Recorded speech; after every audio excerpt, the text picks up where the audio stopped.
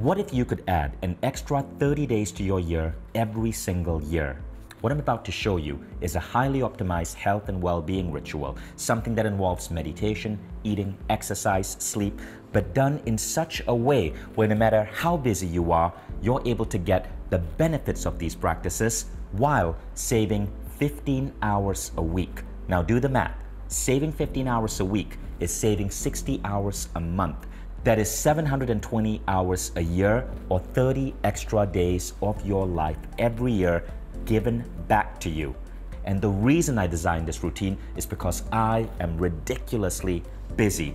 This is what my calendar looks like in an average week. In the next 45 days, I'm about to travel to seven different countries. I have 300 people reporting to me. I'm writing two books, producing four online programs, and running Mindvalley projects all across the world. And then I have these two people in my lives.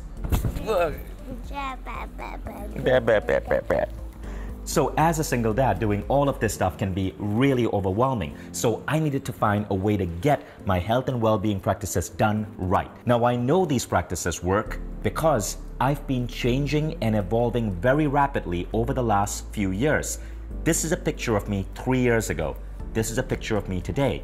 You'll see that I'm getting healthier and fitter as I get older, even when my life increases in complexity. So let's get started with these practices. This is what I do when I wake up. So the first thing I do is I check my sleep using my sleep tracking Oura Ring.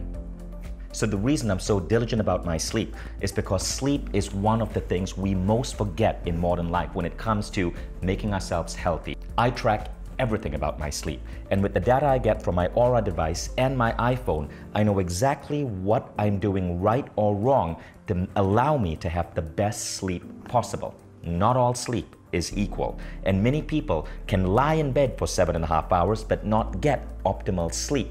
Now, when you can optimize the way you sleep and do it scientifically, you wake up feeling so darn refreshed and you're ready to go through the day at a whole different level. So by optimizing my sleep this way, I estimate that I'm saving about half an hour every single day.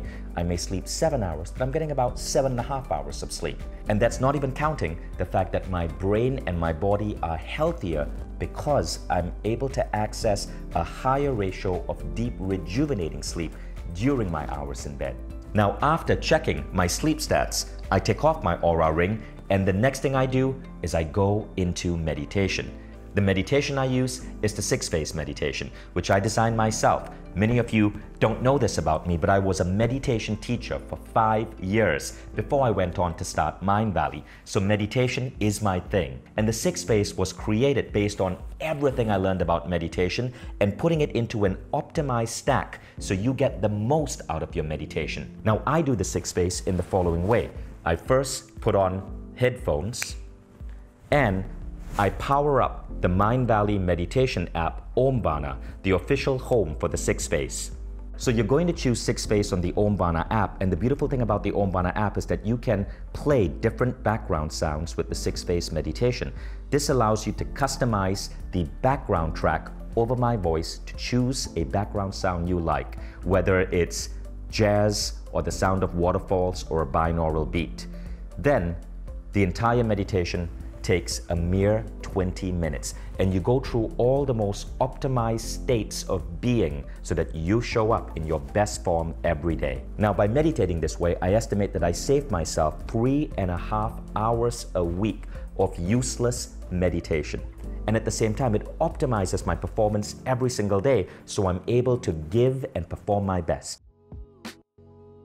So people think of breakfast as one thing. In reality, it's not. There are three different ways I optimize my breakfast. There's breakfast as ritual, breakfast as fuel, and no breakfast at all. Let's start with breakfast as ritual. Now on weekends, I have breakfast as ritual. The kids haven't left for school, I have company, so I have my elaborate breakfast and I have my company by my side. What's up, Eve? So that's the most fun way of breakfast. But very often, the kids have gone to school, I'm all alone by myself, and all I want to do is rapidly consume something so I have the energy I need for the day. That's when I look at breakfast as fuel. And this is what it involves. But don't be afraid, I'm not putting all of this in my body in any given day. Rather, what I'm doing is I'm looking at the supplement stack and based on what I know of what my body needs, I'm creating an optimized stack of breakfast supplements for what I need to do that day. Breakfast as fuel is an interesting idea because our bodies need variety and based on what we're trying to accomplish in a given day, whether we need to optimize for cognitive functioning or optimize for muscle growth, we need to give our body what it needs. A good thing about breakfast for fuel is just how efficient it is. I get to make and consume my breakfast in under five minutes. Let me give you a look.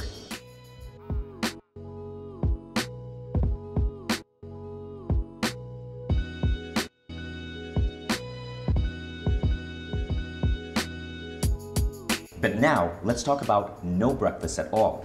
A lot of people think skipping breakfast is bad. Not if you practice intermittent fasting. Intermittent fasting essentially gives your body a break from the requirements it needs to digest food, and our bodies need that.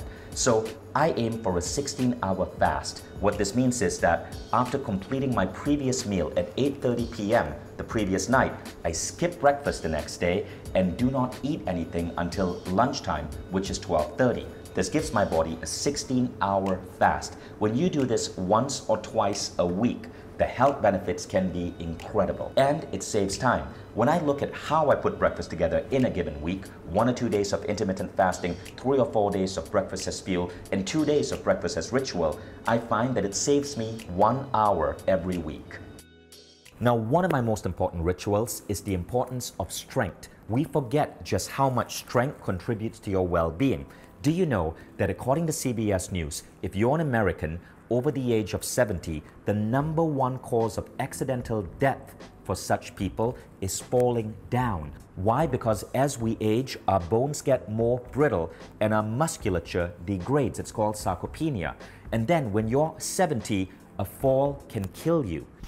So this is what people get wrong about exercise. The traditional idea is that you have to go to a gym and spend hours working out or hours on a treadmill. This is no longer true. Since 2013, the science has shown that short, high-intensity interval training in 4 to 7 minutes can give you the equivalent of 30 to 60 minutes of regular exercise. So when you think minimum effective dose, how to get the best results in the smallest dose, you save two hours a week on exercise.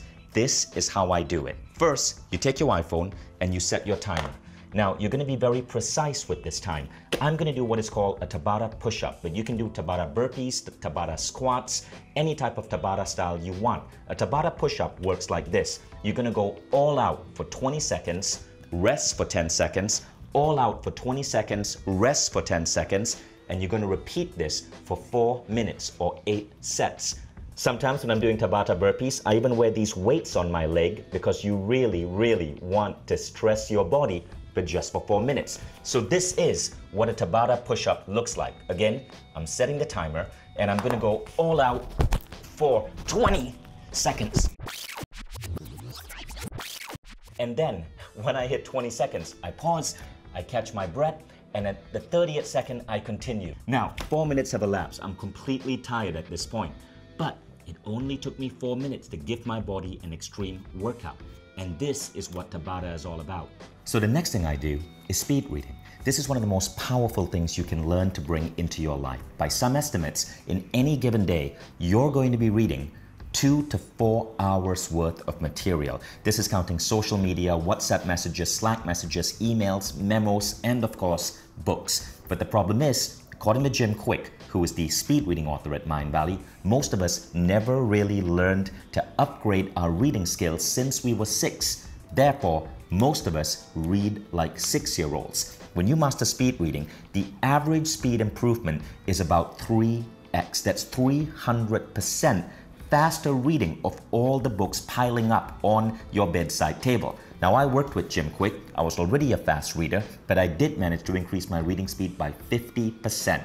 This saves me a whopping four hours a week, and that adds up. So, there you have it. Those are the practices I bring into my life pretty much every single day. And this gives me an extra 30 days every single year to just be alive. So, Taking care of your health and wellness does not have to be complex. It does not have to take up a lot of time. When you practice the latest scientifically tested methods, you can get incredible results really, really fast. So if you found those ideas interesting, many of those ideas I learned from one guy, Ben Greenfield. He's the official longevity and biohacking trainer on Mindvalley, and I just filmed a masterclass with Ben. Ben taught me so much about optimized sleep, about optimized eating, about the exercise routines I just shared with you.